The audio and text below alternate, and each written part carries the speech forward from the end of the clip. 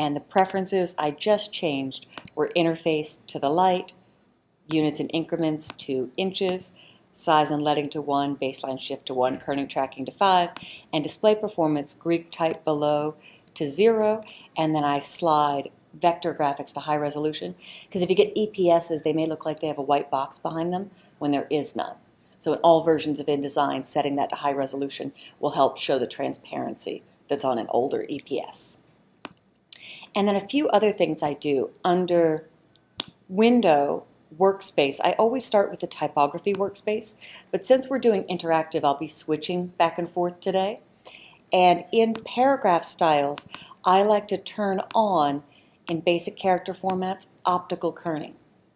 It's Adobe's visual kerning engine, which makes um, all of the letter spacing look much more even and more readable. And I do better hyphenation settings. I would never hyphenate a five letter word. Usually seven or eight is standard. And I don't want three letters before or after the hyphen. I just, I don't want two letters before or after the hyphen. So make sure it's at least three letters before you hyphenate and never do more than one hyphen in a row. So two lines won't hyphenate. And I wouldn't hyphenate a capitalized words or cross column or last word. But when I teach for the poster printers in um, Los Angeles or Las Vegas, they actually turn this off with no documents open. So if you're doing posters, postcards, flyers, hyphenation is rare. There's no need to assume you want it on.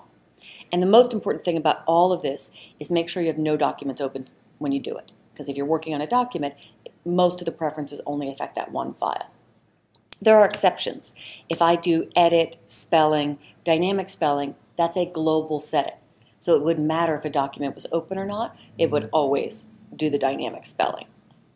And I really hate with a passion, I'll whip up a quick document and show you this. Uh, if I place any photo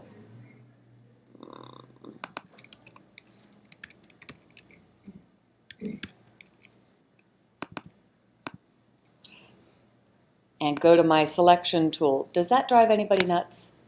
Or are you used to it, the little circle in the center? You may not have that in CS5. No, I didn't. You do? Okay. It's called the content grabber, and I find people are inadvertently going to move the photo, and it moves it out of the visible frame hmm. all the time. So I go to View, Extras, and I hide that content grabber. Because if I select the picture frame, I have blue handles. If I double click, I get the picture itself with orange handles. So just a double click goes back and forth between those two. And I find it's usually not helpful, it's usually getting in my way. So I turn it off right away. And it was view, extras, and high content grabber. And then two other really important settings. If I look at pages and I were to add a bunch of pages, I'll just insert 10 this gets pretty long. You have to scroll and you're wasting a lot of territory on the left and right. So mm-hmm. I wish this was on by default, but on the panel menu for pages, view pages horizontally. So whether it's facing or not, they sort of cross and then down, and you could fit a lot more in the panel. And that's global as well. So view pages, horizontally. And it's actually saved with my workspace. So it's edited in the typography workspace right now. And I didn't mention that when I started the recording, that I'm on typography. But I will switch to interactive for PDF and digital publishing to show the buttons and forms and other things we're going to do. And then if I go to Window and bring up links, this is a really useful one that I think might have been added in CS4. I usually dock my links up here with pages, layers, and swatches because it can get kind of long, but I want to see the post-scaled resolution of my graphics. So in order to see that, I go to the Links panel menu and I choose Panel Options and there's a column that says Effective PPI. Once I've placed a high-res image, if I blow it up, I lose resolution. So I want to see that they're all hovering around 300 or 300 or greater. So when I hit OK on that, this one's 240. If I click here and use Command Shift or Control Shift to scale the picture and frame down together, it's 378. Because I scaled it down, it improves the resolution. If I scale it up, the resolution suffers. So you can even sort by that category. They do have that in pre-flight, but it's helpful to see that all the time. And these are things I wish were on. Like, why don't we have red squiggles under our typos in Illustrator or Photoshop? I would pay extra for that in those. The web's littered with typos because we don't have the red squiggles and people forget to run spell check. So just some important things there. And I will close this up and hit don't save. And I've turned on a keyboard helper, so I hit Command W to close the window. Um, that'll just be Control W on Windows. And you'll see if I hit Shift, it shows an arrow, or Option or Alt shows this little alien symbol. And then you'll see that for Command or Control. I also don't love the Start workspace. Usually I turn that off because I might want to have extra colors added to swatches with no documents open so they're available in all documents. So back in Preferences, forget whether, yeah, it's in General. You could turn off the Start workspace so it's more traditional like it was in CS5, CS6, and earlier versions. And I may have to quit for that to kick in. Nope, it kicked in right away. So now, if I wanted to go to swatches, and do you guys have a Pantone color in your logo, or is it just CMYK for the logo, the little V? I think it's CMYK. Okay. Do you guys have a Pantone color for your logo? Can you name one? No, not top All right. We'll go with one of my favorites. I'll go to Pantone Solid Coated, and I will do Reflex Blue. That's so difficult to print. and you have to be careful though. There's this new feature in the Creative Cloud called Creative Cloud Libraries. So when I added that, they have a checkbox Add to CC Library, which doesn't show up with no documents open, but I actually use CC Libraries a lot, and I'll show you a little bit of how I use that. Are, are you using CC Libraries yet? Unfortunately, I'm on an older operating system, so it doesn't support it. Oh, that's a bummer. Okay. You might be able to log into the website and still get some library assets, even if the panel doesn't work on the older operating system. I, I think I, I think I can get some. Yeah, I think if you go to create.adobe.com, it logs you in, and I can get to my assets. Just as a side note, for all Creative Cloud applications, nope, that's Adobe Create Ma- Magazine. Maybe it's Creative. I'll find it. Actually, I can do it here. I can go to Adobe Creative Cloud, Assets, and Files, and then View on the web. So on my hard drive, I keep a folder called Creative Cloud Files. They give you 20 gigs of storage with your Creative Cloud membership. Every handout I write or work on is saved in there. As soon as I edit it, it's uploaded to Adobe Server. I was rushing so much the other day to get home from work, get dinner made for the kids, get the babysitter ready to go out to dinner, that I left my laptop in the car overnight. I've never in my life Mm. done that. It was on the floor. Even the babysitter took my car. She didn't notice it. Thank God it was there in the morning, but if it was stolen, my most important files are on Adobe servers, so I can get to them from anywhere, any computer, anywhere in the world. I just log in with my Adobe ID and password. So it saved my bacon a few times when I've had hard drive crashes or you know just things that aren't working right. I keep a backup version of my assets here. Like when I'm doing demos at customer sites and their network isn't working well, I have backup disks. But this is as long as you have access to the internet, I can get to it on my phone, which is really cool. So I come back here and I even do collaboration with the Creative Cloud. So I was working on an Adobe training at Adobe in San Jose a few weeks ago called Experience Day. It actually may be easier to see in my hard drive. I feel like I pay $10 for so many little subscriptions, I'm unwilling to buy Dropbox or pay for it every month. Like I pay for Netflix, I pay for Amazon Prime, I pay for Buffer app. There's all these little $10 things going everywhere. So instead of using a subscription based file sharing service, with my Creative Cloud files, there's a folder called Experience Day Assets where I can just publicly share that, invite people to collaborate, or even make a public link where they can download files. So you just copy and paste a zip file to your hard drive. And the one we did was Photoshop Magic zip. So here I can share a public link to it, which is really cool. And that also exists here. There's Photoshop Magic zip. I can send the link to someone, and there's a public link. So they can have access to my class files. We actually use that on the day of class. All the Adobe employees, I was doing one hour sessions on like cool things you could do in Photoshop for people who aren't on that team or people who wanted to see more of the product line. And they just came in with their laptops, downloaded the assets, and we were ready to go. So nobody had to log into a server or anything. It was just a public link, which is really cool. But let's get into the agenda. So, and I'll try one last link, creative.adobe.com. Yes, that logs you into your Creative Cloud. So as long as you're signed into Adobe's website, you can get access to that as well. So it just relinks back to adobe.com, but you should see my picture show up, and then I can access desktop downloads, mobile, um, my Adobe stock, library assets. So I have a few Creative Cloud libraries that I use for things. And actually, one of my most fun things to show is something that's on mobile that I'm going to open with. I'm going to see if on this Wi-Fi we can share my screen. I might not be able to here, so since you guys are in the room, I could just hold it up and show it. They need a special kind of um, Apple hub, usually to recognize it. Reflector often works, but no, this network isn't allowing it. But what I can do, and I'll just turn the phone around and show you, and I have a handout that I can bring up on screen. This is my collection of Adobe apps. I have a whole iPhone screen of it, and there's one called Adobe Capture, where I can build a color palette. Usually I wear colorful outfits today, I'm just in black and white, so it's kind of boring. But at the top left, I'm going to hit colors. And here I could take a picture of something, like my iced tea or my fingernails, and build a color palette out of it. So I'm going to hit the plus sign. I'm going to give it access to my camera. Okay, go ahead. Ah, come on. There we go. Oh, it got the carpet. That's good enough. So it built this five color library that's available in any Creative Cloud application. So I will hit next. And I don't know if it can spell Maggiano's or if I can do that, but I'll try. carpet. Maggiano's carpet. It got it. And then I keep a library called CC Assets and Files, where most of my main assets go. Oh, it got my nails in there too. So my nail color did hit it. It snuck in right at the right time. So I'm hitting Save Color Theme. I've done this all on my phone, but I could access it through a website. I could access it through CC Libraries if we're on a newer operating system. So I added Pantone Reflex Blue with no documents open.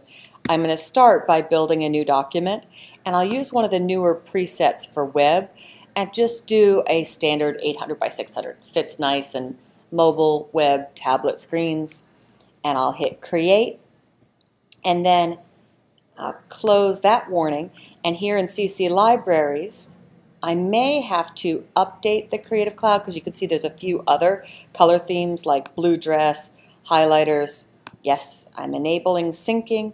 And then once it takes a look that syncing is working, then it'll go get it. So, files, preferences, Creative Cloud, files. It's on. So every now and then it just depends on the Wi-Fi. Okay, it's syncing. So once it syncs, it should update right there. We'll give it a few minutes, but it should, oh, there it is, Maggiano's carpet. It appeared in my Creative Cloud Libraries file. Mm-hmm. So very cool. You're gonna look at that in a month.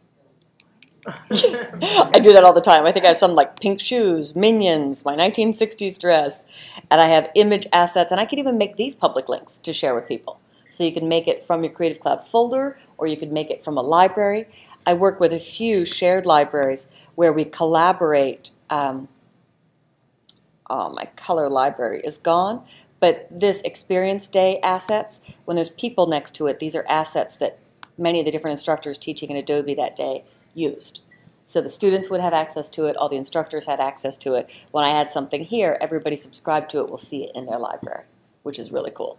So if I'm curious, I can grab Artwork 3, maybe the Illustrator instructor used that, pull it out on my page. And so I've got a vector that's placed.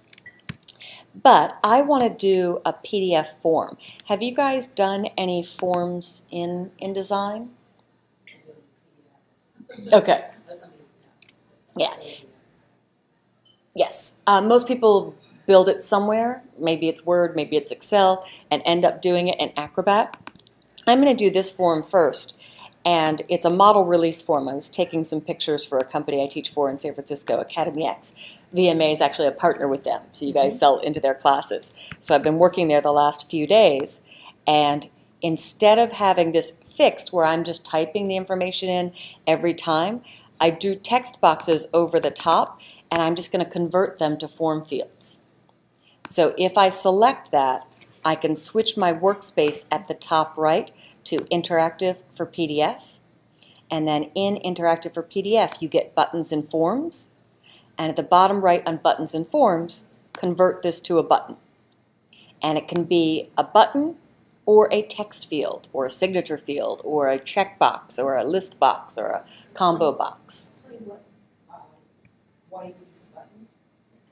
Um, well, technically, I want it to be a text field, but you have to make it a category button first in order for the fields to light up. So it's like in Acrobat, when you create a new form, there's a button tool, but a whole variety of other tools.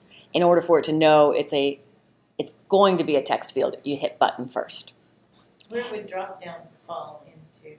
They would be under list box. Oh. I don't think I ever use combo box. They used to call them something different, but one has to be expanded and then you click the open list. The other one's technically a drop down. I wish they named it drop down, but I'll mm-hmm. show you both. Okay.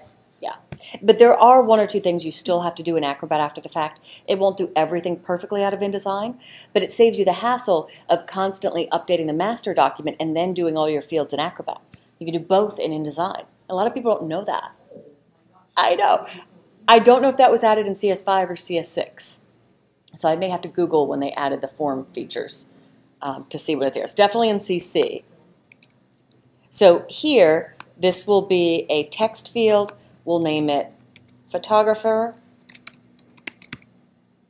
And then you could do actions related to it. You could play a sound, you could jump to a page, you could clear the form, you could open a file. So you could build buttons that help them if they're just Adobe Reader users to do certain things. But I just want it to be a text field, and then I put a description in, which is when they mouse over it, what shows up. Type the photographer's name. And if you work for a government agency,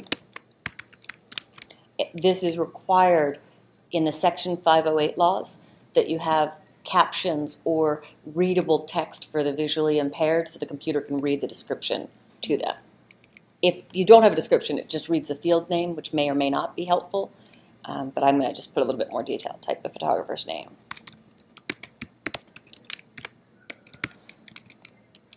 And then I could force it to be required. So they can't hit submit if you are going to electronic, electronically submit it. In this case, we just want the employees at Academy X, when they have somebody come in to take pictures, be able to fill it out in Adobe Reader so I don't have to be the one who's editing or printing the form and they don't have to handwrite everything every time. And then you could set a font size, but I think it automatically uses Helvetica as its default font. We'll see that once it's created. And so often what I do when I'm finished with that, I'll just stretch it so it has a certain width and height and I'll hold down Option or Alt and drag it down for the model name. And I'll sleep better if they all end in the same spot. and then it's a button or form as a text field. We'll just name this model and type the model's name. And then I'll keep going. It looks like the default's always flush left, right? Correct? The default for, Flush left, uh, as far as entering the, oh yes, for form fields, yes. And those are some of the things, some options you can set up on the button itself, but there's no alignment here. You have to do that in Acrobat after the fact. So in Acrobat Professional, you actually have to do that. So model email, type the model's email, address, and they're pretty much always going to be at Academy X. And then this, I'm just going to convert to a button, and it will again be a text field, but in Acrobat, you could have it populate today's date with a little JavaScript. So when they open it, it automatically puts that in. And in Acrobat, you can also specify the format of the date. Do you spell out the month? Do you do just numbers? Do you do the European style? That sort of stuff. So enter today's date. And this I won't make a field. Like if other companies were going to use it, I might want to do that. And just so I sleep tonight, I like to adjust the spacing. Oops, I need shift, not command, between them. So under Window, Object, and Layout, I often bring up the Align panel. and I'll dock that down at the bottom right. And then in Align, I can distribute the spacing. So now I know they're perfectly, yeah. and then, yeah, I know. It drives me nuts when that kind of stuff doesn't work perfectly. And again, I might make sure they all exactly end at the same spot, but the green guides are letting me know everyone lit up when I hit that right margin. Uh, smart guides were added a few versions ago, so they give you rich cursors with um, arrows that indicate whether things are matching the width and the height and that sort of stuff. Can I ask about the date again? Yes. Did that automatically populate today's date? No, that was something I manually typed in in the text frame. So you could have placeholder text already there if you wanted to, but that's a good catch. I should remove it because I don't want it to start on October 3rd. That was two days ago.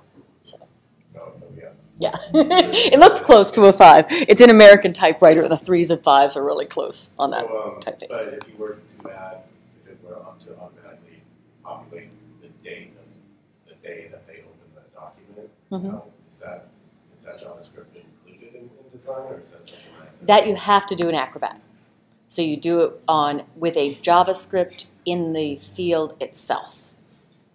And I can show you where you put that in. You, you just copy and paste. It's like uh, date equals new dot date with parentheses. It's a simple code, um, but it's just something I copy and paste in the button itself or in the text field itself.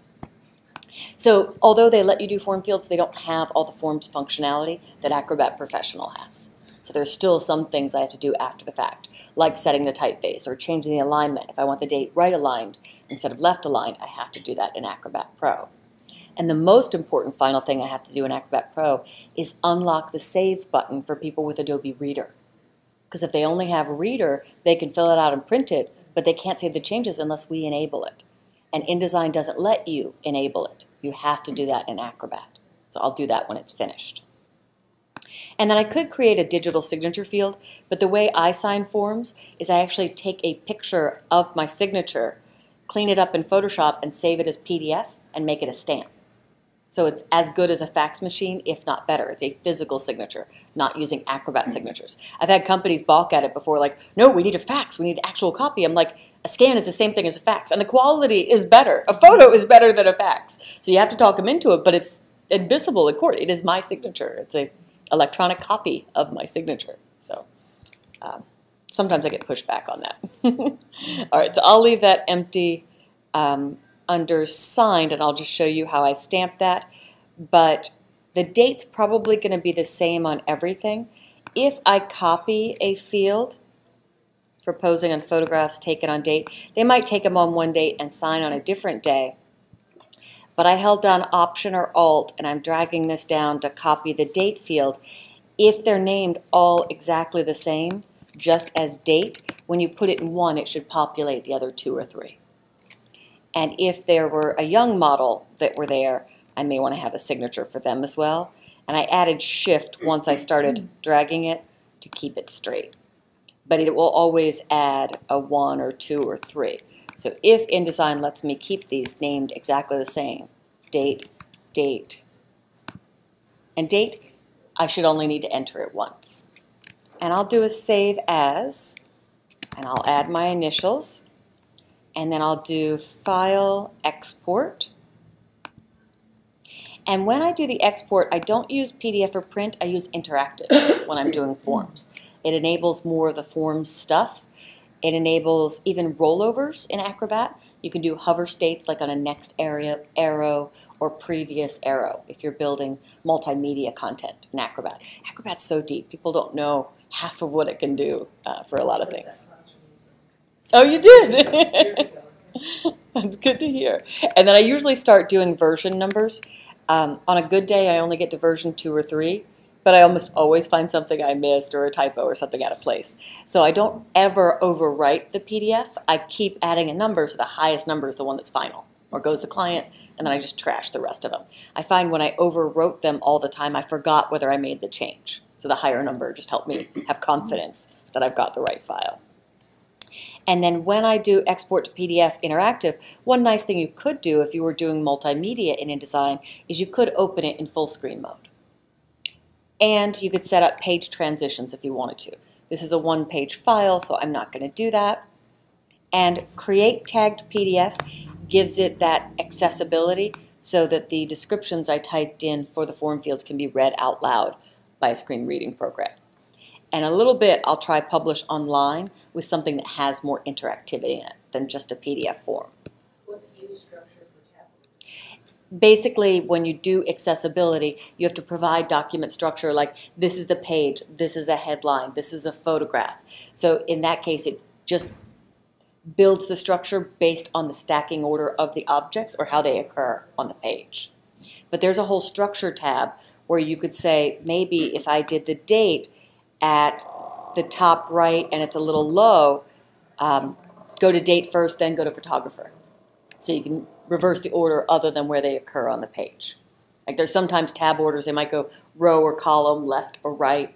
You might want to alter it. Oh, and I just need to do pages, not spreads. There's no raster images. This is a vector logo, so I shouldn't have to worry about compression. But normally I might set that to 150 pixels per inch, so it's a nice smaller but decently printable file. That's good enough for laser printer and inkjet printers. I may not need 300, and if it's going to be shared online or emailed to somebody, I don't want to have to send big files to them. So I don't like 72 because it just makes the images look like garbage, but if you have a lot of images, you may need to go lower than 150. And then I won't put any security on it, but if it were um, super secret, for example, when I did the training at Adobe, I'm being paid through a third-party company, and they emailed me a PDF form for bank information. So I put a document password on it, and I called them and told them the password to open it. So if somebody intercepted the email, they still can't get into it unless they hack in, but that's a lot of work. So you could put an open password, or if it's protected content, you could restrict copy and paste. So when they highlight text or an image, they couldn't edit it in Photoshop or Illustrator or use edit copy and rip off your text. But I will hit export and I deleted all my preferences for all my Adobe programs so it would be like it was on your machine. This is new also with Acrobat DC, the document cloud. On my phone again, and I wish Reflector was working. Does anybody have an iPhone charging cable? There's another way to skin this cat. Oh, actually, I might have one in my bag. You can use QuickTime on the Mac to broadcast your screen. Yes, I do. So I don't need reflector, but let's see if I can just show this. I'm full of tricks. so I will quit reflector. Oops, now it's syncing iTunes, and you can see the songs that I mm-hmm. like. That's actually my six-year-old's playlist. but let me find QuickTime. She loves Bon Appetit, which is inappropriate, but she has no idea what it is. She just calls it that song, I'm on the menu. Uh, it needs to be kind, application. Come here. There. And under File, I think it's New Screen Recording and it will show my face in a second, which is terrifying. Come on. Oh, good, it didn't show my face. All right. She loves Snoop Dogg too because she likes the popping, clicking sounds. Maybe it's new movie recording. Yes, there it is. All right, so now you can see my phone. Now there's my collection of Adobe apps in the background. And I mentioned that I have the folder on my hard drive that is my Creative Cloud files. So like I keep my insurance documentation there and my social media links so I can access it from anywhere at any time. So when I come back to my phone, if I hit Creative Cloud, it shows me the same thing I saw on the website. So I'm working right now on some Academy X handouts, updating their InDesign content. Inside here, there's a source file zip there's InDesign files. It gives you a little info on them. I could download or preview them. There's all kinds of tools. I can share with someone, move them, copy them, make a public link, so I have access to everything, which is really cool. And then when I did Capture earlier, Adobe Capture, and I made that color library just so it's in the recording, I hit the plus sign, I'll go to my camera, I'll take a picture of my purple cable, and I could freeze the picture. So these two purples are really close to one another, so I might try to drag one of them to a slightly different shade. Or pull this instead of the tan to a different shade of purple. And then I capture it, hit next. Come on. Purple cable. And then it's going to CC assets and files. And then I'll save it. That's correct. Save color theme. And there was um, what I was going to show in Acrobat that's new. So if I come back here, it's got easy file access. You could add comments on your mobile device if you want to. You can fill and sign forms. So Adobe partnered with EchoSign, so you could sign with your signature. You're probably doing that at a lot of restaurants. They don't make you sign a physical paper receipt anymore. You just sign with your finger on the iPad. So EchoSign does a lot of that. So I'm signing in to the Adobe service that comes with Adobe Reader DC. You don't even have to be a subscriber to have access to many of these tools. You can just create a free Adobe ID and password. And that actually brings me back to QuickTime. If I look at my Adobe screen back here, some of my most favorite applications are Photoshop Fix, Photoshop Mix. It has like liquify tools to make your arms skinny or remove wrinkles or blemishes or dark circles. You just need a free Adobe ID and password to get to those. So there's some really cool mobile apps, even if you aren't a CC subscriber, that you can use with their services or through the website. But I'm going to sign in with my Adobe ID and password, and I'll turn off keystrokes so you can't see my password. and let's see if I remember my password. Sometimes I change it. Oh, good, that worked. All right, we'll turn back on the keystrokes. So notice how the first three fields are red. Those are required fields. So it's ready to be filled out, so I can make myself the photographer. And this is a little dangerous. In InDesign, I set up the font American Typewriter. It's actually okay. Since it didn't have American Typewriter, it uses the closest serif font it can, so it's using Times but I may want to try to change it to Helvetica or Arial or something that's on every machine. Um, Adobe Reader and Acrobat actually load from a font resource folder with a collection of like symbols for radio buttons, Times, Helvetica, Arial, and Courier. So it doesn't matter whether they have it or not, those five typefaces are loaded automatically. On But I, computer. They're coming from your computer. They're coming from, yes, the application folder for Adobe Reader or for Acrobat. So as long as they have Adobe Reader Acrobat, they get those five. So you, you can't embed a font. You can. You just have to make sure it gets embedded in the document. So if they're filling out form fields, you can put it in a text area outside to the right. Maybe if it doesn't occur in the background, but I wanted American typewriter in the form fields, but it's not used anywhere in the form itself. I just make sure there's a text field that touches the page edge so I can forcibly embed that font so they would see American typewriter, even if they didn't own it. It's a little cheat I use to force fonts to embed. If you extend the box just so you have a text field that touches the page edge, it allows you to embed the font. So that brings up a good point. If I go to File, Properties, and Fonts, it is embedded, but usually for forms they switch to a generic one, just to be safe. But I could switch it back since it's there with the form tools in Acrobat, not in InDesign. So those are a few of the edits I make. So it made it in, it's only subset because it's a true type font and you can't fully embed. So the risk with that is um, all the characters aren't there. Only the unique character used, the unique characters used are there. So to be safe, sometimes I'll type the whole alphabet upper, lowercase, all letters, numbers, and a bunch of symbols in that box along the edge of the page if it's true type, so that like 90% of the characters they might use are already in there, they're embedded. Because if you subset and I type my name Kelly, only K E L is used twice and Y, only four characters make it in there.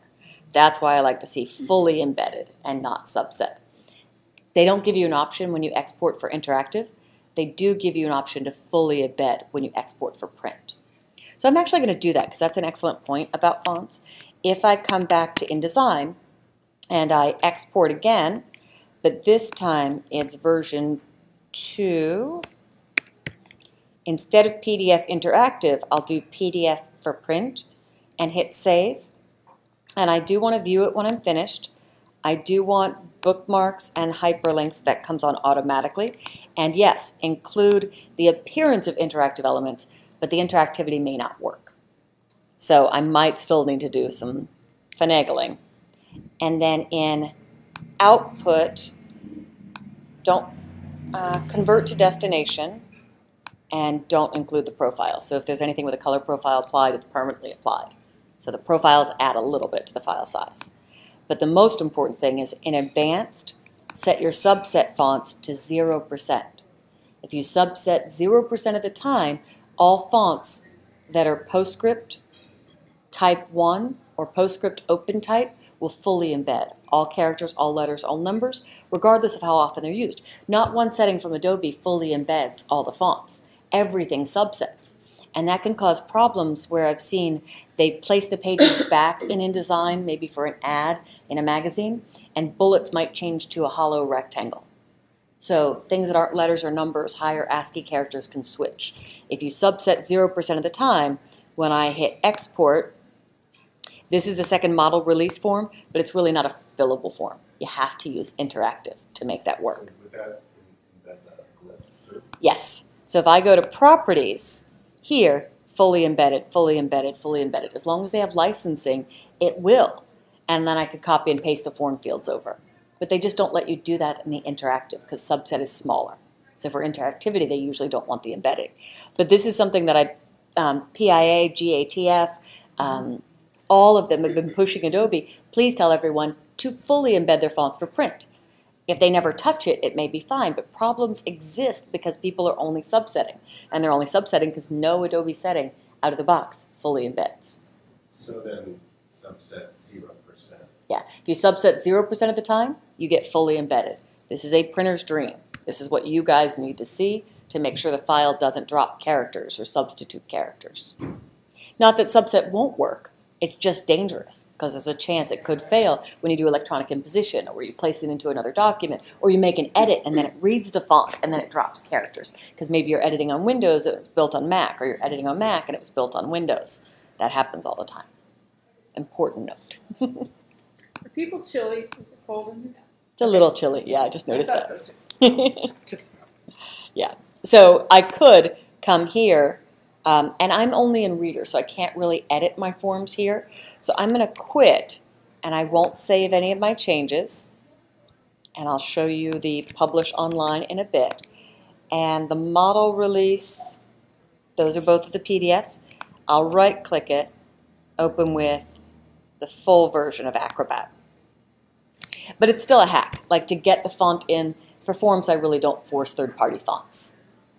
Subsetting is usually okay because it's a form, it's not really for prepress, it's distributed electronically. I don't want Acrobat Pro DC to open my PDFs by default because Reader launches faster and I want a closer experience to what the receiver is going to get. So I usually test my forms in Reader, test my documents in Reader to make sure I'm not getting extra tools or extra information that they won't have. So Reader is always my default. And they give you the same welcome screen, but let's see. I'm not signed in here. Oh, I am. Okay, so it detected me.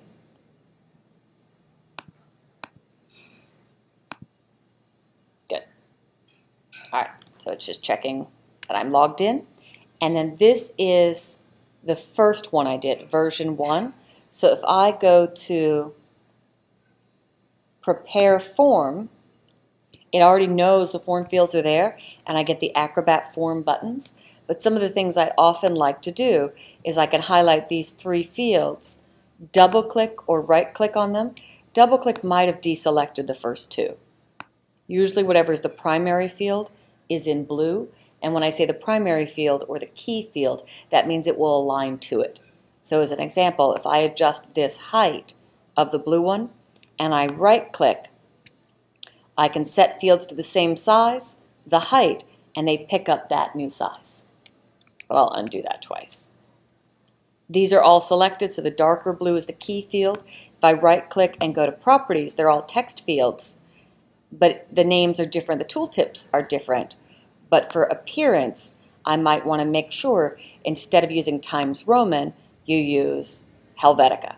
So these are the collection of five fonts that are built into Reader and built into Acrobat and built into your phones. If people want to fill out forms on their phones, they don't want to use whatever's built into Android or Apple's PDF previewer. They want to download Adobe Reader for the phone, and it gives them some interactivity. It gives them the ability to fill out forms. So you do need an app to get all the functionality on your phone.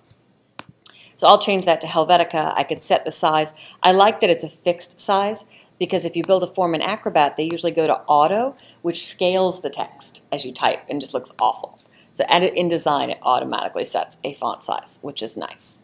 And then for position or options, that's where you could change the alignment. She mentioned left alignment is the default, and it is, but if I wanted to go to center or right for anything, I can do that under options. So more editability in Acrobat Pro once you're finished. But the most important thing, I'll check each field. This one is photographer, type the photographer's name, it's got the tooltip. You could do this with the dialog open, type the model email address. I didn't put in type today's date, and I'll copy it, and let's make sure that at the bottom, these two, yeah, they stayed date, and when I added that description, it worked. So if I go to preview the form and I type 10 5 2017, it did it on all three. So as long as the field name's the same, I got the date to kick in on all three of them. All right. I your names didn't do a space. It was all- Where did I not do that? Oh, in my file names. Model's email. Yes. Model underscore email is that. you have to do Well, that. Or is if you're emailing anything, a space is replaced with three characters. It replaces it with percent 20. That's why you get a lot of numbers and percent signs in your file names. Three. Three characters. One space equals three characters. So I have a permanent habit of always doing underscore if it's going to be hosted on the web or sent as an email attachment. And if I do it for all files, I don't have to go back and rename them to prep them to go to my web page. That's what we always learned to do, just Yeah. No, going back to the day. Yeah. Spaces were a no-no. Way back in the early days. See them all the time. Yeah. Because you can add them, people do, but then they don't know why their file names change or they get chopped off or there's all these numbers and characters that they didn't type in there. It's because of spaces and non-web compliant characters. And you'll notice that it didn't pick up Helvetica there. So I'll go back to edit my form, do a select all. Ooh, interesting. I forgot that on this I'd actually built a hyperlink for academyx.com. So it's clickable to go to their website and that shows up in the form field area. But if I selected all of them, I can right click. I probably can't do it with that one. Let's try it again. I'm going to marquee select them all. Right click, properties, appearance, and it varied. I want to make sure they all use Helvetica and I want to make sure they use the Helvetica above the line at the top. I don't want any of my versions of Helvetica. These are the ones that are built into for all the forms. They work on mobile, they work on desktop, they work in Adobe Reader. So I'm making sure I go above alphabetically to the very top of the list. And then the most important thing, if everything I've done here is okay, I can close form editing and then file, save as other, reader extended PDF, enable more tools. So people with Adobe Reader can save their changes. How long it took me to figure that out. I don't, do you know it's been there since Acrobat 7? Yeah, That- That's gotta be the most frustrating thing for people who are trying to fill out forms. and Absolutely. You know, get called. and there's no way in the export dialog to let InDesign do that. There should be a checkbox to let InDesign turn that on. I shouldn't have to do all these things after the fact. But the new the features are newer, the forms and button features, and I highly recommend. And I'll just choose this and come out of there for a second. You go to, uh, let's see, our keystrokes off. Let me sign in again.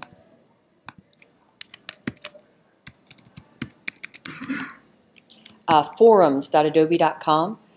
As as Adobe community professionals work across the country or across the world, part of their responsibility to keep that title on their business card is monitoring the forums and answering so many questions a month. So you'll get feedback instantly from professionals, but if you start a comment like, why can't I make it read reader enabled out of InDesign, the engineers also watch it too. So the more people that give feedback on it, the more it goes to their JDI list. Just do it. This doesn't need to be debated. We don't need to make room for this. Just make this feature because there's enough people that want it. So back in Acrobat, it's saying it's going to let you save form data. They can add comments. They can sign a digital signature field if I made that a digital signature field. I purposely didn't so I could show you how to stamp it with a signature. Um, and I will hit save now. But when you do this, it does lock down certain edits. So I almost always add dash D for distributed. So if I need to edit these form fields or go back and put the JavaScript in for the date, I need the original O1 document because some things are put on lockdown once it's distributed. So you really need two versions out there. Most likely I just make my edits in InDesign, recreate the form field, and then make it enabled again. So InDesign is now my master, but there's still little things like setting the font to Helvetica or um, changing the alignment or validation of forms, like with a JavaScript, or even character limits. I'll have to double check if you could set that. Sometimes for first name field, I'll put like a 25 character limit, and last name field like a 50 character limit, so I don't try to type everything in one box. Or maybe state, you put a two character limit, so they don't type the full name of the state, you just want the two letters for the state's initials. So I'll hit save, and now I'll quit Acrobat Pro, and I'll go to Adobe Reader, which should be the default. That's my distributed one. And just a little side note, does it drive any of you nuts that um, Acrobat always opens up to fit the width of the document instead of showing the whole thing? There's a preference for that. They thought people were using it for reading, but as a designer, I'm using it for proofing. I want to see my whole document. I don't have to have fit in window every time I open a file. So in Reader and in Acrobat Pro in the preferences, on Windows it's under Edit Preferences. On the Mac, it's Acrobat Preferences. You can change the zoom to fit page. And once I, it's for page display on the left, zoom fit page.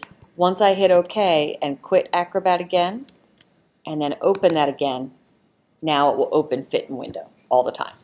And as another note, I probably shouldn't have the date in there automatically. So I should pull that information before I distribute the form. But I can do that in Acrobat Pro, and the date's accurate now. So I will be the photographer. The model will be Laura. You willing to be a model? I'm sure. Make me the model. All right. And your email? Laura at vma.bz.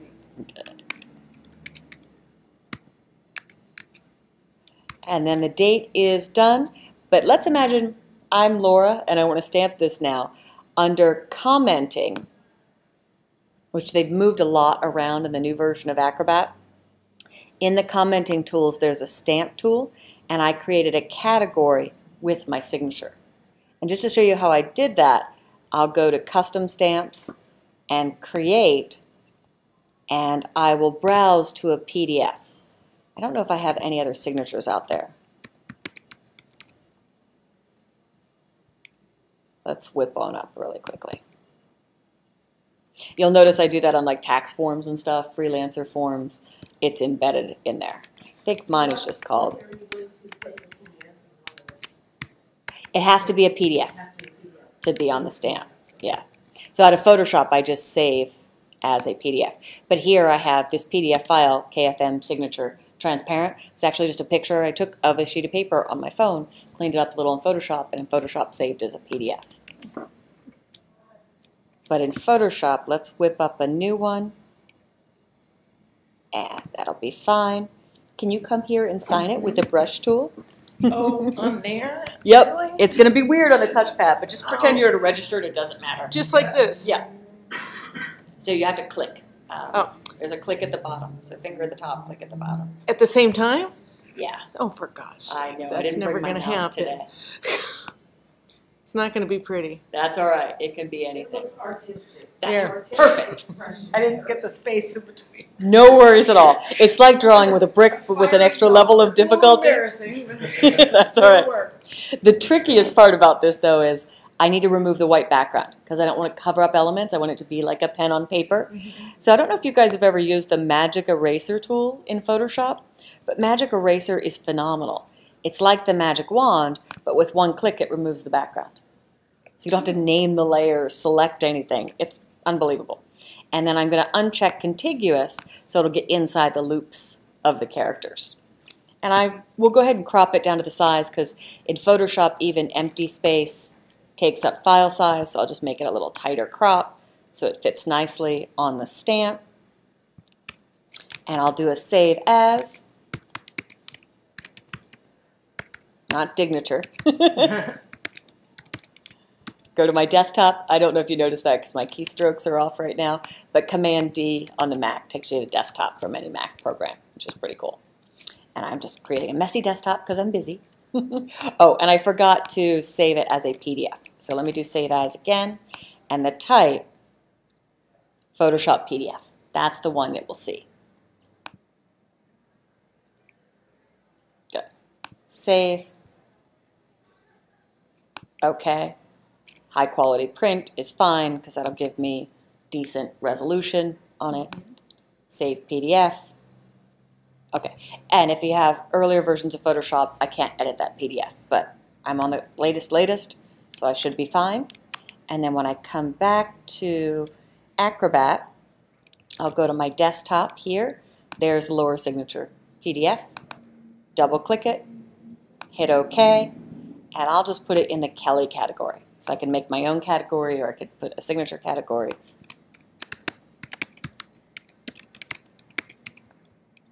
There we go.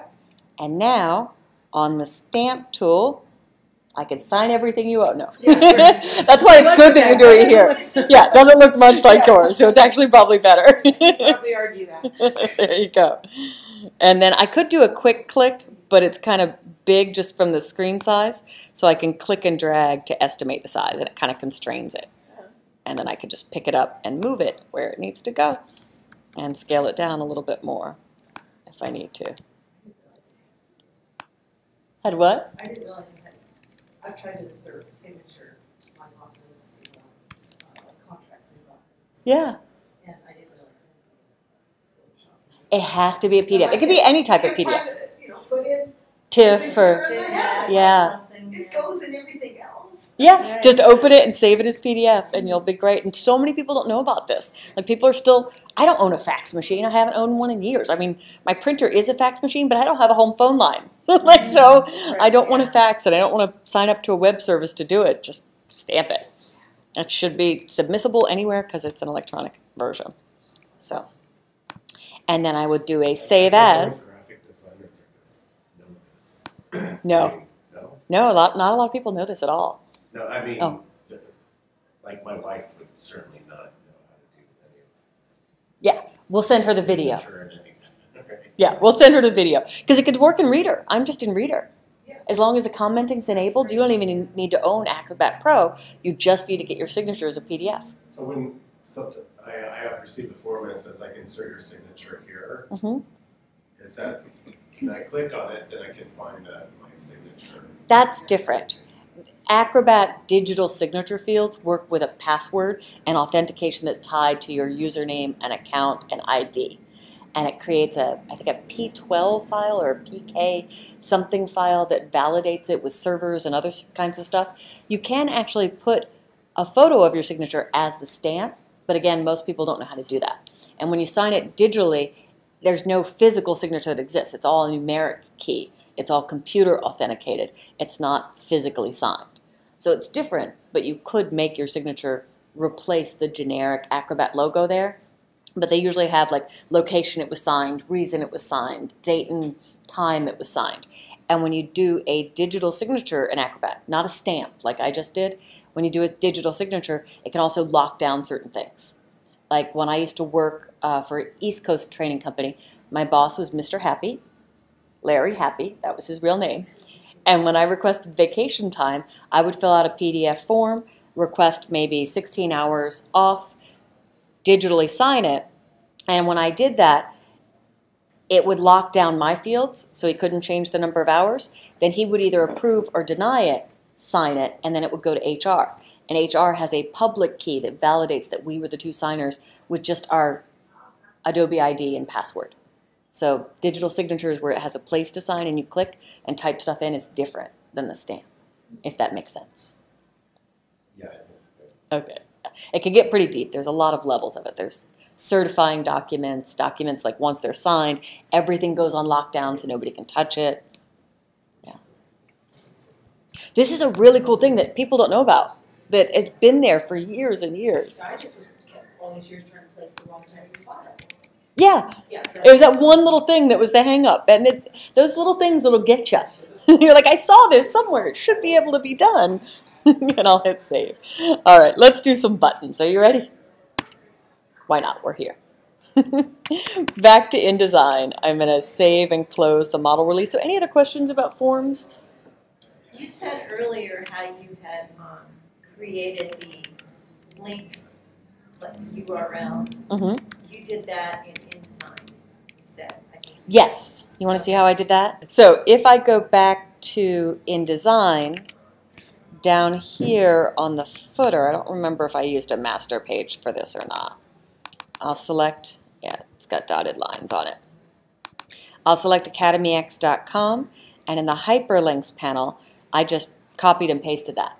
And it validates the hyperlink. When I first did this on a bunch of documents, I accidentally had a space that I highlighted with the Academy X, and it gave me a red circle here instead of a green circle because it was a broken link. So as you create hyperlinks, it's out there actively checking it. And if I go back to Adobe Reader and I move down there and click and allow it, it will take us to the website. And I also mentioned, let's see if my phone is still up. Yeah, back in QuickTime. It ties into Acrobat, there's my munchkins, Acrobat on my phone, so I can go to My Documents. And yeah, I'm okay with all of that. So all the Creative Cloud stuff that I saw is here. So I can look at Creative Cloud files or recent documents that I opened with my Adobe ID and password. It may need to refresh or may not be on the network. And here, local documents, things that I've saved or things that I've worked on. Creative Cloud documents. So if you look right here and I want to have access to that form on my phone, yeah, it, it syncs. No, So- I, I was saying with the- my operating system, I haven't stored anything on the cloud because it doesn't sync. Because the operating system So doesn't allow it. It's not one of those things that go to Yeah. service, so I usually go to a Dropbox. So I just put the model release in my Creative Cloud files. It may take a moment to update, so let me see if I can go to recent, Creative Cloud, and under M, it should appear. We'll see if and when it does. Model release, yay, that was super quick. Well, it's probably syncing as we speak. so error opening document, but, oh, sorry, and you aren't seeing it on my screen. Here, in Creative Cloud, there's the model release I just popped over. So sometimes I have to double check whether or not the files are syncing. And it looks like it's up to date. Sometimes I quit the app on my phone. Or every app on my phone. Nope, nope. Step away. And then it may see it when it comes back here.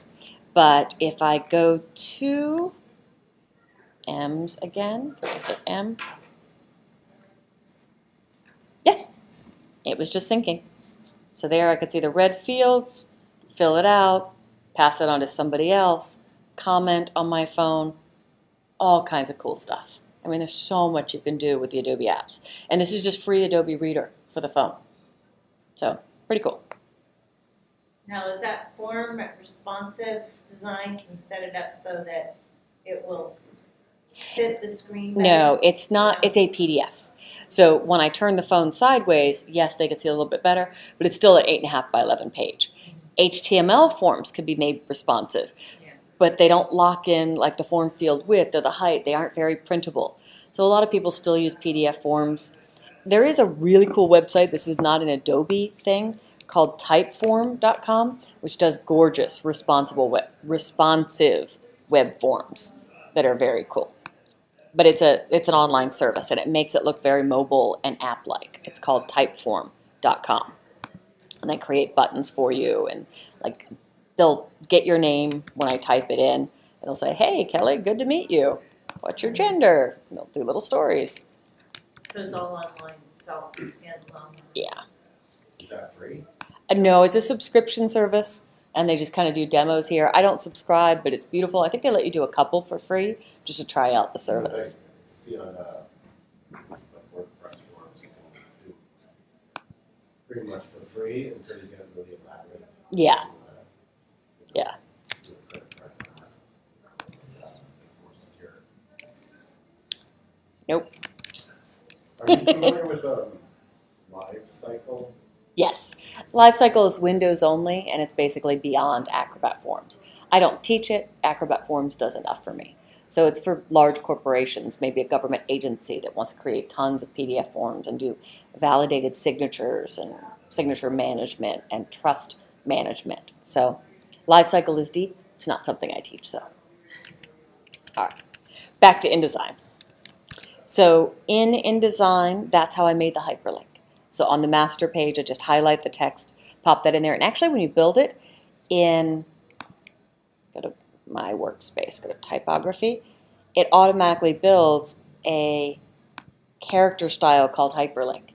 So you can edit it with your brand identity. I didn't build that. As soon as you create a link, it, it does that. So if I go back to this 800 by 600 document I was creating, I'm going to go to layers, or actually I'll do the master page, and I'll create a global background color.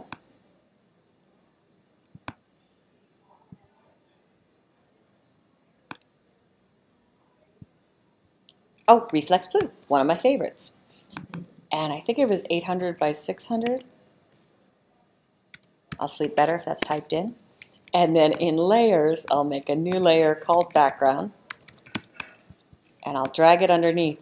And did you guys know you could just take this dot and drag it down to move stuff on layers in Illustrator and InDesign? So I'm going to lock that down so I don't inadvertently hit it. But if this were a presentation that I'm building, I often build a layer called multimedia because I may not want it in the printed version of the piece. So for my multimedia layer, I'm going to grab the type tool and I will go to glyphs and webdings or wingdings. Might be wingdings. Has arrows in it. Yeah, that's the one I want. So in wingdings, I want like the play arrow. The glyphs panel has a new bug where it's not scrolling in this version. And I keep thinking it's me, but sometimes I have to stretch the window. Am I missing the play buttons? We'll go with one of their arrows. I like the like um, tape deck recorder style play button. There it is. Come on, let me have it. There. That will be next page. I'll draw another text frame for previous page. And I'm just double clicking to insert these. And then once I've got two of these, I want to make sure I'm on the selection tool before I do type create outlines. Because if you do it on the text tool, it creates an anchored graphic. So it's inside the text frame still. So I made sure I switched to the selection tool before I did create outlines. And basically, I just used type to make my button. And let's blow that up 500%. I think that's big enough. I'll blow this one up 500%. Good. And then I will fill them with white. And I'll pop them in the corners.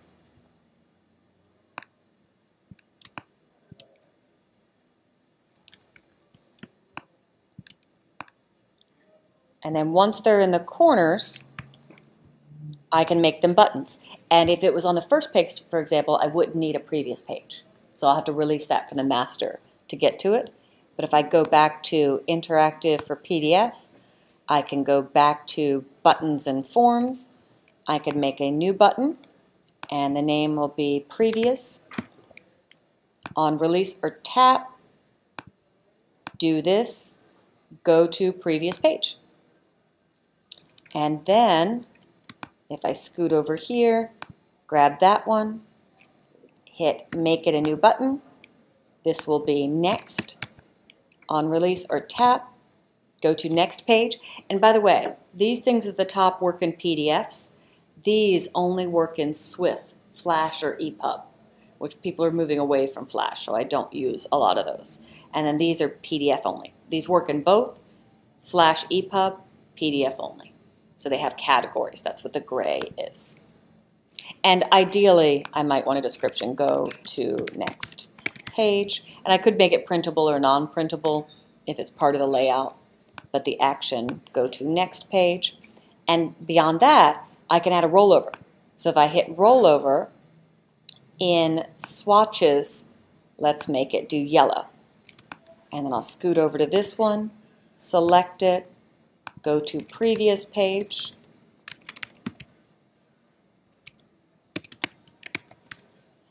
and then hit rollover, and it's interactivity. So I'll show you. If I preview this with the SWF preview or the Flash preview, I usually float this and make it really big. There's a little play button here. So it's only doing the master page, but that's the rollover. Oh, oh, Just turns yellow. Yeah. And technically they're kind of dying because more people access the internet on a device than a desktop computer, and there's no hover state with your finger. like there's no rollover. So some people still put them in for the desktop users because they don't want to um, cripple their environment because of the mobile people, but rollovers may not exist for that much longer. All right, so I will dock that down there so I could open and close it. simplify our lives, won't it? Yes, a lot less work to do. So in Pages, um, do you guys know the shortcut you hit to release something from a master page? Because it's locked there. It's Command Shift Click or Control Shift Click. And I can delete that from the first page in the document. So I'm actually going to switch this to a different color because I'm working on a website for a friend of mine who teaches baseball and I'm going to pop in his assets. So I think I have them on my desktop. Carmona Baseball. And then I've got his logo, the old ping. I'm going to go to Options, Show Import Options, because I did several mock-ups of his logo for him, just experimenting. But I think that was the one he liked. Yeah, that's right. Control shift click to release an object from the master page, but doesn't delete it from the master page. It doesn't. It stays on the master page. I just locally deleted it on page one, but when I add two, three, or four, it'll come back. And in fact, here's another trick for that. Let me pop this logo in really quickly. But if I do Control Shift Click or Command Shift Click, and I change this button to a different color, like this RGB cyan, once I've edited something on the master, if I go to the master page again, and maybe I want the buttons at the middle, top, and bottom, in Align, I'll align to the page and I'll center it, yeah, that direction. Do the same with this button, align. Yes, so both of them are vertically aligned center, and when I go back to page one, even though I changed the color of that, I didn't change position, so it still obeys the master page, which is really cool. They thought it all the way through. And then if I click here under pages in the panel menu, I can choose remove selected local overrides. Don't remove all the overrides. Don't bring my previous button back, but take the object I selected and set it back to how it's supposed to be on the master. So remove selected local overrides, and then the color went back to yellow instead of that cyan, which is really cool. And that's been there forever. That's not new. Um, but uh, not a lot of people know that about InDesign. Yeah. To to get to the master page items, a lot of people will go here and choose remove or override all. Then it ignores the master forever. If you use the command shift click or control shift click, it's got levels of editability, so it'll still behave. Create a whole new master page. That too, yeah. There's lots of ways to skin that cat, but it's a pain. so that's a good one.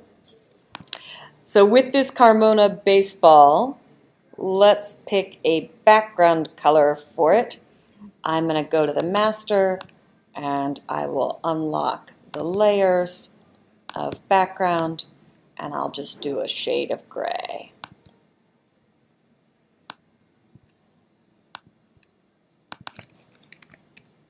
Good. So just a light gray.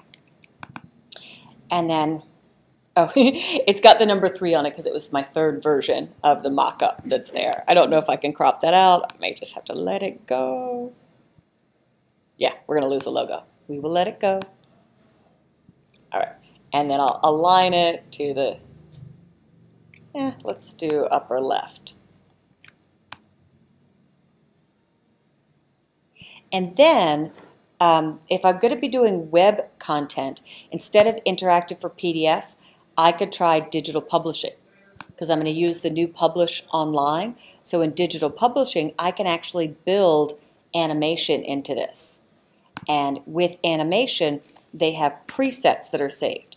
So in this preset, I'm going to choose fly in from top. And it actually does a motion timeline. Will it will fade in and appear. So I used to teach Flash year, years ago, and Command Return was the Flash preview. And InDesign, it's Command Shift Return or Control Shift Enter that usually triggers the preview. Let's see if that still works. I might have to use the frickin' nuisance key. well, never mind. Window, interactive, SWF preview. Yeah, Command Shift Return, but it might be the Enter key. So sometimes I have to use that little FN for it. I'll just dock this with everything else. But if I hit play again, there it is, fading in. I wonder if I have an AI of that.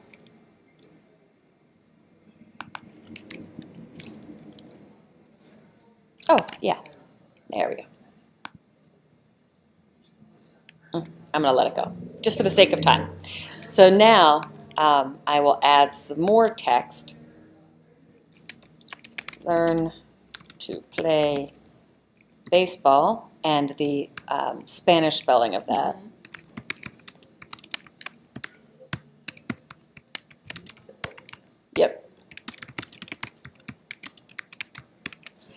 And then I will double check that and in the language, in the character settings, which usually shows up here, but when your resolution is too low, sometimes you can't get to it, I will change it to Spanish and it should check out okay. No. Interesting. Okay, we're going to let it go because I've been told that's how it's spelled. B-E-I-S-B-O-L. And usually if it's close enough, it will give you alternates. Beatrice is not an alternate. but if, Maybe an E after the S. I don't know, but if I do hola, that's still Spanish and that's correct. Or if I did Nino, it's missing the accent. So if I right click, there it is with the accent. So it's pretty cool in spell checking it. Um, maybe the E and I are backwards, but maybe it's not in the dictionary. You would think that's a pretty common word. But we're going to let it go. And I'll make it bigger.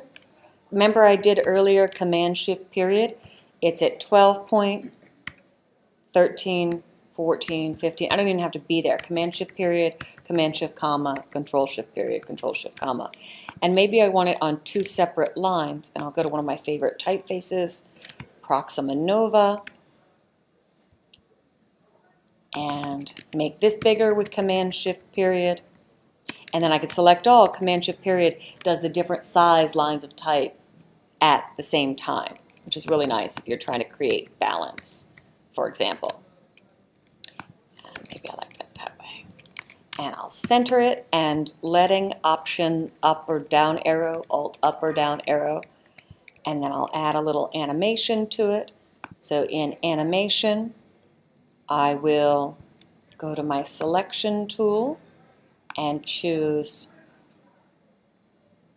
fade in. And then there's a whole timing panel. So when it first starts, Carmona Baseball will load, but this one, let's delay it one second. And so you could set the order, you can have things loop, you can have them go back and forth. Now, sorry, I really, really want that perfect. Let it go, let it go. All right, that's better. I'll sleep better tonight. Mm-hmm. now I'll go to add a page. And I will add some text and I'm just going to cheat and grab the text from page one. Do you ever notice when you page up or page down, it doesn't keep the spread centered in InDesign? Do you know you can hold the Option or Alt key down and it keeps it centered? So if you do Option or Alt, page up or page down, it keeps it centered as it navigates. So I'll show you. Here in the Pages panel, I'll create a third page, get timing and character out of my way. And then on this first page, I'll copy this.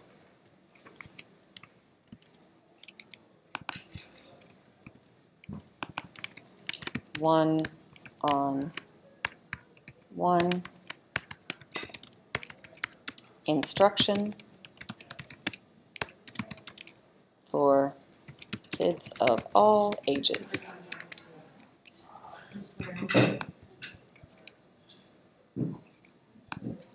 And I'll add an animation.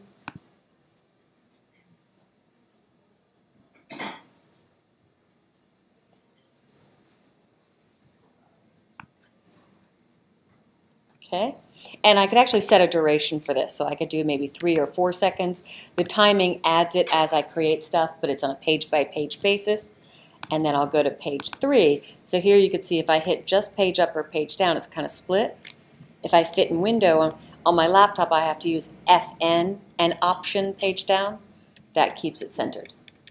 So it's handy. And then we'll put in an image of a baseball. I thought I had a baseball. There's the baseball. And show import options was on, so that's why that popped up. And I will scale it down. Oh, sugar. Must have, it went in the text frame. And I'm wrapping up just No, now. no problem, no worries. Thanks. Does anybody want coffee or I can get you guys Espresso. anything you um, espresso or what was the other? want. I'm cold, You you want know. espresso? I'm good. Thank you. Iced tea is great for me. Can't leave until all this dessert is gone. At least all the food is gone actually. Uh, just- Can I get you guys anything, coffee, anything like that? or- Coffee? A regular, do you have? Uh, regular, You want want cream? cream? A little bit cream? Absolutely. Get that, please, sir. Okay. So what I just did here was I clicked on the baseball and I did a bounce. So the baseball is going to bounce in. You could add sound, you could add movies, you could do all kinds of stuff. So I will save this as Carmona. So you put the baseball on the left and the, the logo. Yeah, so I copied the logo from page one so it'll fly down again. But I started this in upper left and all I did was choose.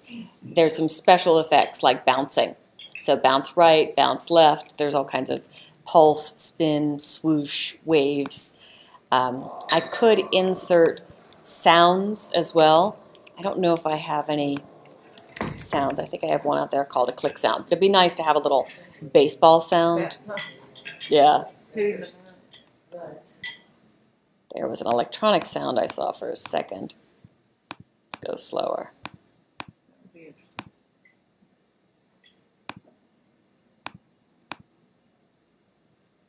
No.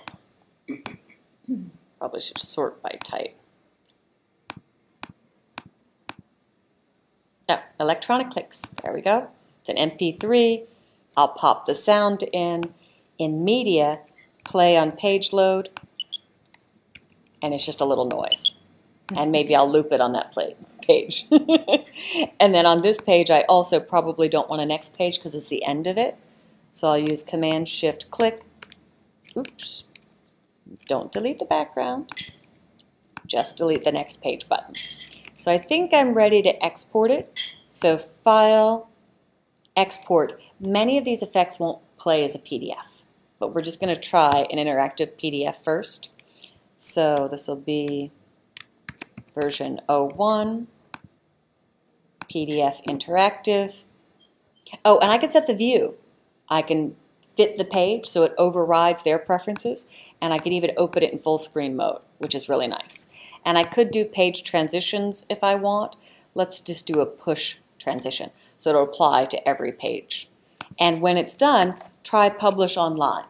So we could see how that works and plays in a web browser in the page, and everything will work. and that's under the File menu and Publish Online. That's new to CC 2015, I think. So they snuck that in there. And for compression, I will do 150, so the baseball looks decent and quality high, and I don't need any security, so I will hit export. It's trying to open in full screen mode. Yes, remember my choice, but you'll notice it didn't play any of the animations. They aren't supported in PDF. There's ways around that, but the rollover works. I can go to next page, that's working. Next page. The sound worked, and it's looping, which is fun. Make it stop, make it stop. so we'll get out of there. Maybe we'll set the loop to one or two times. Um, so I'm going to cancel here. It was going to go straight to publish online. And sometimes the sound files, it actually went inside the frame. That's why that frame got selected. Sometimes I'll just drag them off on the pasteboard. So there's no preview or just have a little piece of it touch the page. Interesting. All right, it's hard to tell with a red frame. There, got that out of there, got that out of there. Paste. Okay, there, it's touching the edge. In media, let's just turn off looping. And then you could set a poster, um, which is the preview image that you see if it's something that's clicked, because you could tie that to a button, like when they click, it could play a button sound, or when they tap, it could play a button sound. But now I'll do File, Publish Online, Carmona Baseball 01. Allow them to download a PDF, although the PDF would just be informational. It won't have all the animation. And an advanced, oh, you could also keep updating a document because it creates a web link. So maybe there's revisions that happen. So I could create a new one every time, or I could just keep updating it for the end user. And then the resolution, we'll go to high DPI for retina screens or high DPI displays. And I could choose uh, download PDF settings that I wanted to use. I do a proof setting that's 150 pixels per inch. And we will hit, and you could choose a different image uh, for the thumbnail for the document. So you could navigate to something else. But the first page is fine. So I will publish that. It's uploading, and this will be a live clickable link. So you had an option there to click, um, to allow them to? It gives them a PDF that they could download and print if they want to. And so if that is unclicked, they can't download it. Right. Right. You could leave it off and it could just be a web page, as an example. That's not for every PDF, is it, or just the digital? Just the digital one, just this publish online. So right here, I can copy this URL or share it on social media. I can view the document, which takes me to that URL. So this is the path for the document. It's served from Adobe servers. There's the first animation coming in, second animation, go to the next page. And I'll have to double check. That might be something I need to switch for the Flash content for online, but they have their own navigation that's built in there. And there's the baseball bounce, which is pretty cool. And then the logo came in and the sound came in. And what might be nice to add to the end of this, if I close it, is the web link. We just bought his domain, but it's not really a link yet, but I'll draw uh, Carmona. Oh, the Carmona way. And then when I highlight that and copy it, if I go back to my typography workspace, there's hyperlinks. I just paste that in, and as soon as I did, I have no styles in this document, but it built the hyperlink character style. So maybe I want to change that to one of his brand identity colors. So in character color, there's a super secret way to get to colors here if you don't know about it. I can double click this T and add a color with the dialog open. So I'm going to choose CMYK and I'm going to make it 100 cyan and 100 yellow. I don't think that's it. There's green in there somewhere. The bug with this is I have to click on something else and then back on it and it'll show up at the bottom of the list. it worked in CS4 and CS5. They broke it in CS6, and I've been complaining to them ever since. Please fix this. And I could tell it in the hyperlink, maybe don't underline the hyperlink, because that's kind of old-fashioned looking.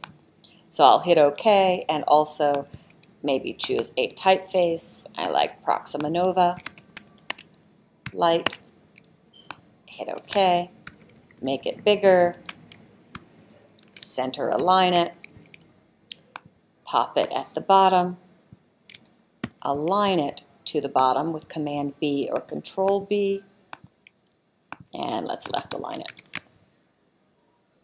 So hyperlink, ah, it's not a working link, but it'll try to go to it. So I will file, publish online, and this time update the existing document. And it knows I have one out there. There's viewers to download the PDF, hit publish, okay. Even though the link isn't checking out, we bought the domain, but there's nothing on that website yet. But you'll see that it'll try to go to it. But that's nice because it showed the red Yeah. um, circle to let you know that it wasn't a working link. And then on the master page, I'd check those buttons. I may need to switch them from PDF style buttons to Flash style buttons or to digital publishing style buttons, which is the EPUB format. EPUB under the hood is really HTML. So I may have to use a different method to create those buttons. Okay, view the document, it should be the same link. So if they shift refresh, they should get the same one.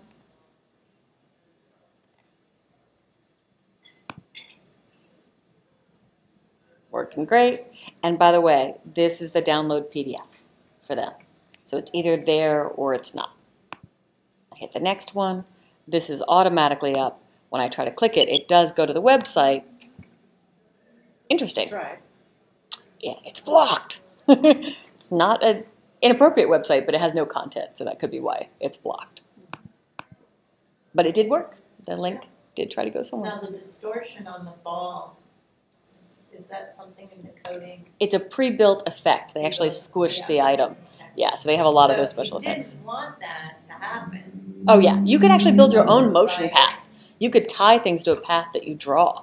So I could extend, like, oh, the back and forward. I could extend this or change the path that it's following. If I come back to the front page, this has a motion path and I think the direct selection tool. It's not letting me zoom far enough out, so let me try putting that at the bottom and using the direct selection tool and I could extend that so it'll play longer or come in at a different rate. So if I go to the SWF preview,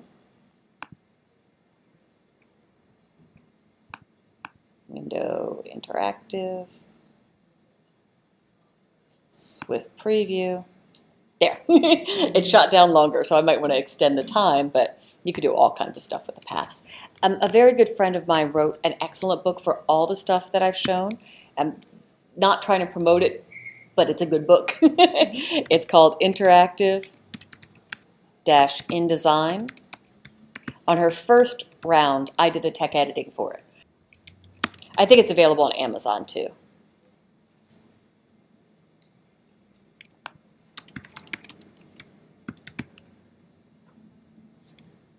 Yes, it is. So Interactive InDesign CC by Mira Rubin. And it has everything and more, creating forms, unlocking the form fields, even doing EPUB, doing all the buttons, everything in there. So if you, we don't really have any curriculum anywhere I teach that has this stuff. So whenever somebody asks me to do a day of this, this is what I buy for the curriculum. Any questions? Yeah, for Yeah. you publish online, can you set it up so you FTP to your own website? As opposed to going to Adobe or No, right now it only goes to Adobe's website. can you publish it for online to a folder and then you just upload it yourself? Like, They don't offer any of those. Right now it's just to Adobe services, but you could probably use a web service to pull that content. But they have their own viewer and everything that's part of the interface. So if you were, so if you were to create this for your client here and they want it on their website, They'd have to create a custom URL. It's not really for website building. It's really just to push content out there that's a little bit more interactive and to give clients proofs without having to email stuff back and forth. So it's new, it's a pilot piece. They aren't really trying to replace Dreamweaver or Adobe Muse, they're just giving you other ways to put content out there. So you could use Bitly or something like that, or TinyURL to create your own custom URL. There are some web services that'll grab entire websites, so then you could just edit the code and put it back out there. And the other thing you could do is the way to get it to a folder is save it as EPUB. You take that EPUB, you rename it .zip. Once you rename it .zip and you open it in a zip opening program, it has all the HTML in it. So there's still a way to get there. You could do it as an EPUB, but it's kind of a hack. But, but you replace EPUB with, Yeah. And I think I can show that really quickly. There's some, um, basically they name it EPUB for e-reading devices like the Kindle Reader or, or the Barnes & Noble Nook and that sort of stuff. But if I come back to InDesign and I do File, Export, Format EPUB, Reflowable, so this would be scalable, save it, and they even let you publish it online through this as well. Let's go with the newer EPUB 3. I don't know that I need to change. There's even cascading style sheets. It'll build for you, like out of hyperlinks that you can edit. And I could add myself as the creator. But when I hit OK, uh, turn my keystrokes off.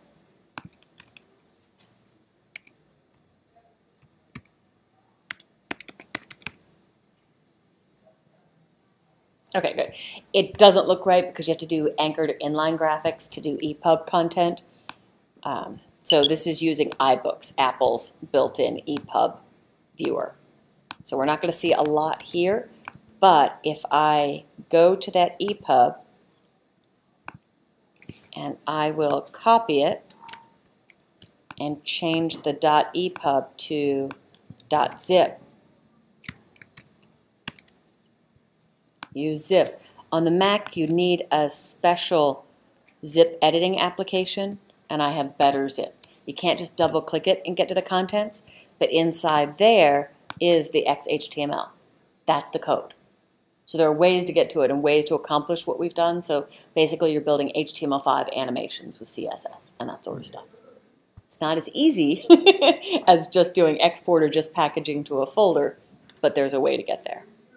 So I could edit all this content inside. You could see the generated styles. I don't know what application that'll open with. Dreamweaver, that makes sense. So, but I think we're past our time.